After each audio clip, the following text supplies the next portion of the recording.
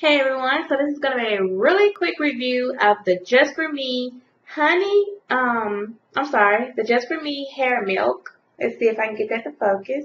With shea butter, soy milk, and honey. That's where I got the word honey. Nourishing Detangler. Detangles and helps prevent um, breakage. Now it says for natural hair at the bottom down there, but anybody can use this.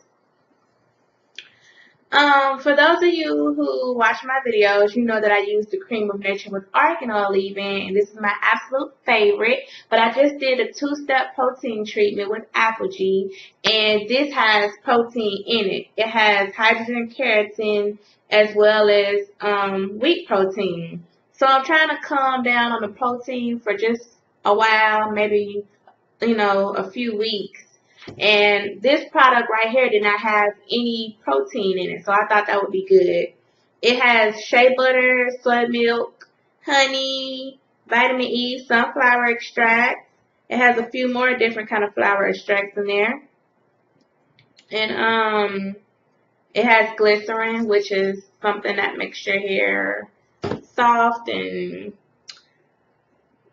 anyway, this is a nice detangler. It's marketed toward kids. If any of you know what Just For Me brand is, everybody knows that when they were a little girl, you know, you get your Just For Me relaxer. So, you know, you familiar with this brand if you've ever had Just For Me relaxer as a child.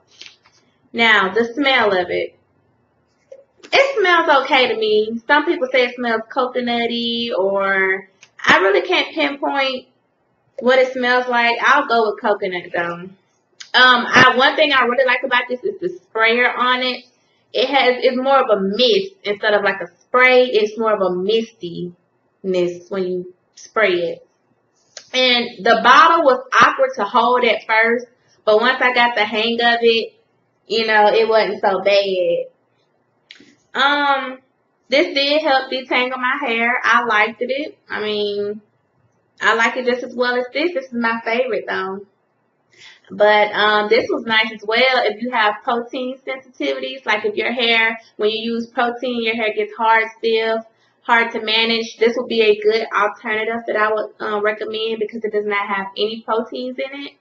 And um, one thing that I would say, let it sit in your hair for a few seconds before you comb it. Like when you spray this on your hair, give it a few seconds, like 30 seconds to like work and then start, you know, combing it with your wide tooth comb. Um, I'm going to read the back really quick to you. It says, just for me, oh, Hair Milk Nourishing Detangler is a protecting leave-in formula that makes wet or dry hair easier to comb and more manageable. Instantly tames even the tightest textures helping to prevent damage and breakage, ideal for tight, curly, or wavy textures. Shake well. Spray hair milk nourishing detangler directly into wet or dry tangled hair. Allow formula to soften, then comb out. Starting from ends to roots, do not rinse out.